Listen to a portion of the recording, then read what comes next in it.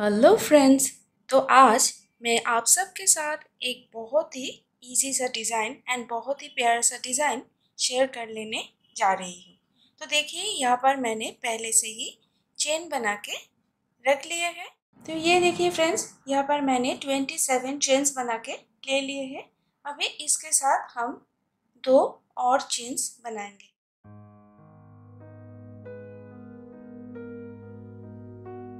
तो फिर हमारा यहाँ पर टोटल ट्वेंटी नाइन चेन्स बना है। अभी अभी जो हमने ये दो चेन्स बनाए हैं, इसको स्कीप करके देखिए, यहाँ पर आ जाएँगे।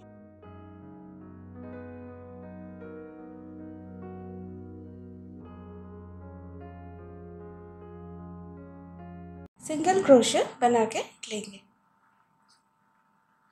फिर हम नेक्स्ट चेन में आएँगे। फिर सिंगल क्रोशर बनाएँगे।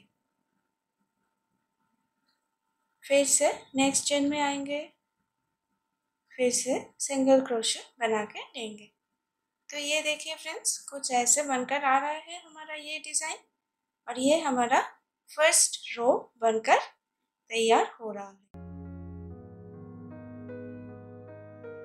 तो ये जो डिज़ाइन बन रहा है फ्रेंड्स, ये बहुत ज़्यादा इजी है एंड उसके साथ साथ बहुत सुंदर है। तो चलिए इस रो को हम पूरा सिंगल क्रोशिया के साथ बनाकर पूरा करके देते हैं। तो अभी यहाँ पे देखिए फ्रेंड्स, इस पूरे रो को हमने सिंगल क्रोशिया के साथ पूरा कर लिया है। अभी यहाँ पर हम वन एंड टू चेन्स ऐसे, अभी हम इसको ऐसे टर्न कर लेंगे। और अभी देखिए, हम इसको छोड़ के यहाँ पर आ जाएँगे। उनको एक बार ऐसे क्रोशे हुक में रैप करके यहाँ पे आ जाएँगे।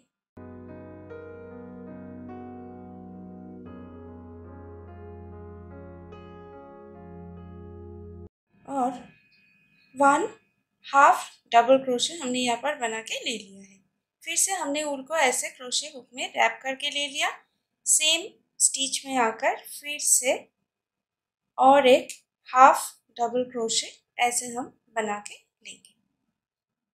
अभी देखिए फ्रेंड्स, ये जो नेक्स्ट स्टिच है, इसको हम स्कीप करके यहाँ पर आ जाएँगे। फिर से हम उनको ऐसे रैप करके लेंगे, यहाँ पर आ जाएँगे।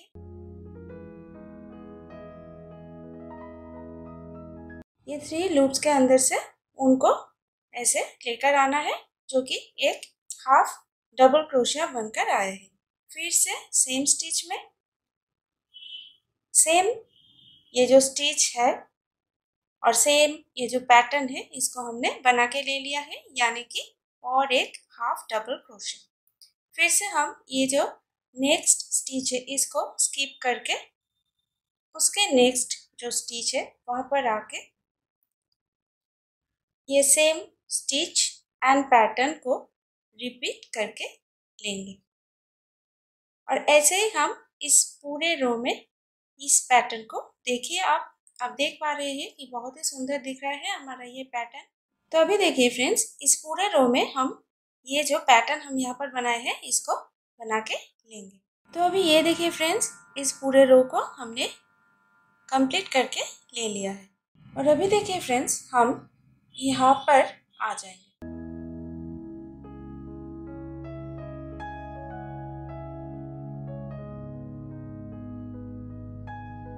यहाँ पे आके हम वन हाफ़ डबल क्रोशे ऐसे बना के लेंगे। यहाँ से हम वन चेन बनाएँगे, फिर इसको ऐसे टर्न करके लेंगे। अभी देखिए, ये जो स्टिच है इसका ये जो बैक लूप है मतलब ये वाला जो लूप है, हम सिर्फ़ इसके अंदर से क्रोशे हुक को डाल के वन सिंगल क्रोशे बना के लेंगे। तो यहाँ से हमारा नेक्स्ट रो स्टार्ट होता है।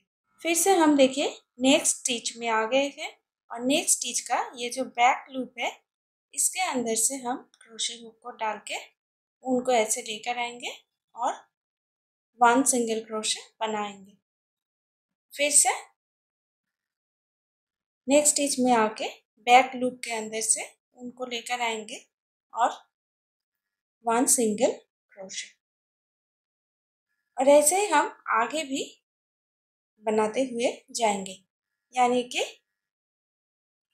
हर एक स्टिच में आके उसका ये जो बैक लूप है, देखिए, यहाँ पर दो धागा दिख रहा है, लेकिन हम सिर्फ़ ये बैक लूप में आएँगे और इसके अंदर से उनको लाएँगे और ये सिंगल क्रोशे बना के लेंगे। तो ये देखिए फ्रेंड्स कुछ ऐसा डिज़ाइन हमारा यहाँ पर बनकर आ रहा है। तो चलिए आगे भी हम इसी डिज़ाइन के साथ इस रो को पूरा बना के लेते हैं।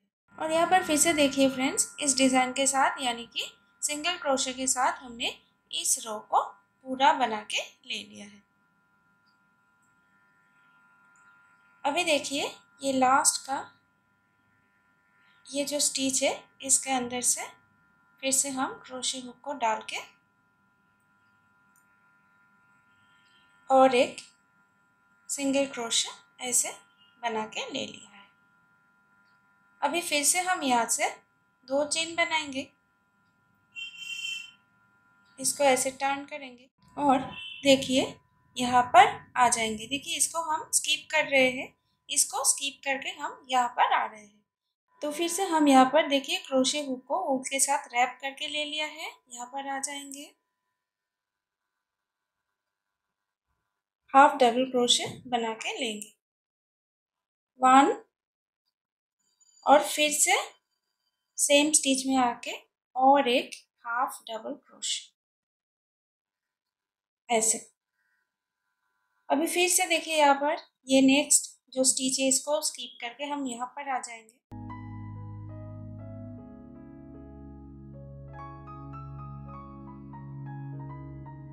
वन हाफ़ डबल क्रोशे फिर से वन हाफ़ डबल क्रोशे तो देखिए, यहाँ पर हमने जो स्टिच बनाए हैं, बिल्कुल सेम वही स्टिच वही पैटर्न हम फिर से यहाँ पर भी बना के ले रहे हैं। तो चलिए, इसी सेम पैटर्न के साथ हम इस रो को भी पूरा करके लेते हैं और इसको हम थोड़ा और भी बना के आपको दिखाते हैं कि कैसा बना है हमारा आज का ये डिज़ाइन और अभी यहाँ पर आप देख पा रहे हैं फ्रेंड्स ये डिज़ाइन हमने पूरा बना के ले लिया है।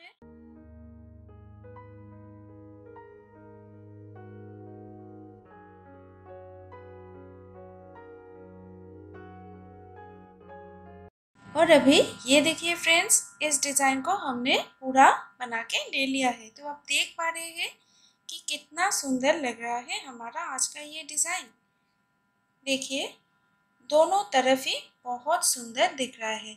तो कोई भी साइड आप यूज़ करके ले सकते हैं। इससे आप बहुत सारे चीज़ बना के ले सकते हैं। लेकिन देखिए, अभी तो गर्मी बहुत ज़्यादा है। तो अगर कोई इससे शॉल या स्वेटर या जैकेट बनाना चाहते हैं तो आप उसको बना सकते हैं। बट उसको छोड़ के आप इस डिज़ाइन के साथ और भी कई चीज़ें बना के ले सकते हैं। आप इसके साथ कारपेट या गलीचा बना के ले सकते हैं, जो कि आप कान्हा जी के या ठाकुर जी के मंदिर में रख सकते हैं। आप इसके साथ रेक्टेंगल या स्क्वायर शेप की सेंटर पीस या टेबल मैट बना के ले सकते हैं।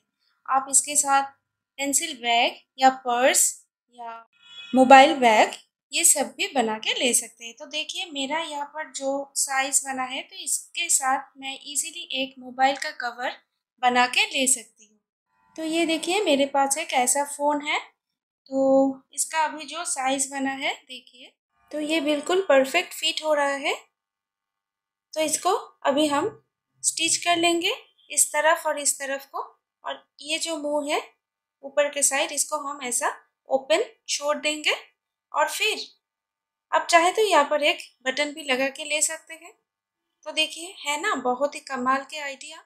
और देखिए फ्रेंड्स, आज हमने ये जो स्टिच बना के आपके साथ शेयर किए हैं, ये जिसको क्रोशिया कुछ भी नहीं आता है, वो भी बहुत ही आसानी से बना के ले पाएगा। तो यही था हमारा आज का वीडियो। आई होप कि आज की इस वीडियो आप सबको बहुत अच्छा लगा है। और अगर अच्छा लगा है तो इस वीडियो को लाइक एंड शेयर कर लेना। अगर अगर आप इस चैनल में नए हैं तो चैनल को भी सब्सक्राइब कर लेना, ताकि आगे भी जितनी भी वीडियोस इस चैनल में अपलोड होंगे, उसकी नोटिफिकेशन आप तक पहुँच जाए। हम मिलते हैं और एक नए वीडियो में और एक नए पैटर्न के साथ। तब तक के लिए बाय बाय।